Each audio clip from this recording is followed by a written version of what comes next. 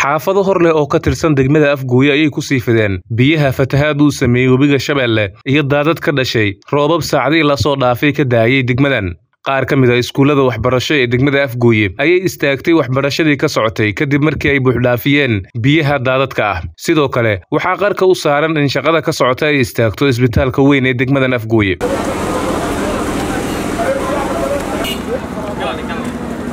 si loogu kuurgalo xaaladan guddiga ugurmashada dadka ay fatahaadani saamaysay oo uu magacaabay guddoomiyaha maamulka gobolka shabeellada hoose maxamed ibraahim bare ayaa maanta waxa ay kormeer ku tageen meelaha ay sida ba'an u saameeyeen biyaha guddigan waxaa hogaaminayay guddoomiyaha guddiga ahna guddoomiyaha degmada afgooye cabdulaahi maxamed cusmaan hiraabe. Sidoo kale waxaa qayb ka ah guddoomiye ku-xigeenada amniga iyo arrimaha bulshada waxaana kormeerkan ay ku sameeyeen dhammaanba xaafadaha ay fatahaadan saamaysay. Sida dhagaxtuur aytiro damaley iyo xaafado kale. Ugu horreyn waxaa kormeerkan faahfaahin ka bixiyey guddoomiye ku-xigeenka arrimaha bulshada maamulka degmada afgooye ismaaciil aadan cadow. Maanta xaaladihii maalmahan degmada afgooye ka jiray oo fatahaadaha dhibaatada iyo khasaaraha ay geysteen.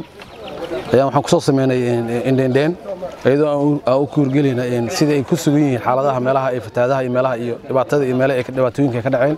Guddoomiyaha degmada afgooye ahna duqa magaalada ahna guddoomiyaha guddiga ugurmashada dadka ay daadadkani saameeyeen. Cabdulaahi maxamed cusmaan hiraabe ayaa dhankiisa ka hadlay kormeerkan maanta ay sameeyeen iyo kulamo xaaladan looga hadlayo ay ku yeesheen xarunta maamulka degmada afgooye. Guddigaas oo maalin ka hor soo magacaabay guddoomiyaha gobolka shabeellaha hoose markuu arkay xaaladaha ka jira degmada afgooy ee emergensiga iyo fatahaadaha soo kordhaya.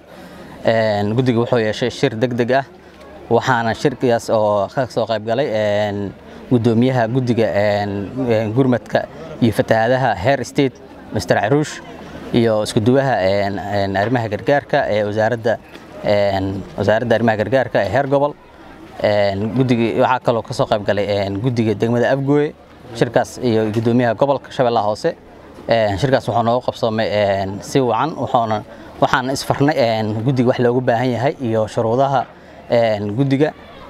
Saasoo kale waxaan soo kormeernay xaafadaha degmada afgooye iyo dadkii fatahaadaha ee saameeyeen.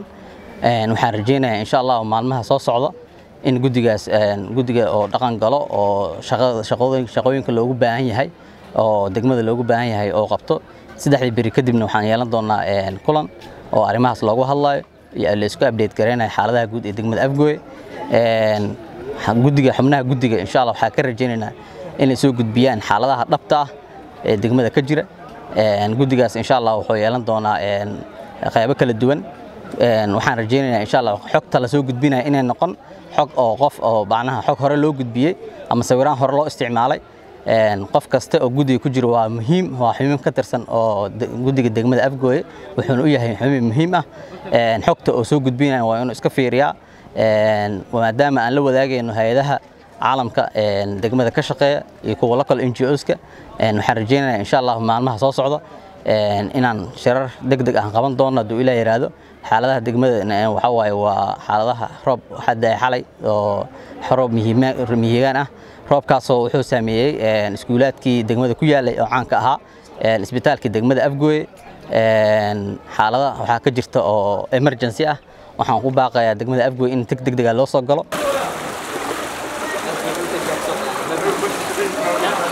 ibraahim maxamed mayow telefishinka iyo raadiyaha dalsan degmada afgooye ee gobolka shabeellada hoose. Fogeysiis farxadle haddii aad joogtid dalalka midooda yurub u k kanada austraaliya ama new zealand xawaaladda wol remit waxa ay frii ka dhigtay dhammaan lacagaha loogu diro bremiyer walet ayadoo ku gaaraysa in ka yar shan daqiiqo. Ka faa'iidaysa fursaddan oo lacagaha ugu dir ehelkaaga iyo dadka jeceshahay bremiyer walet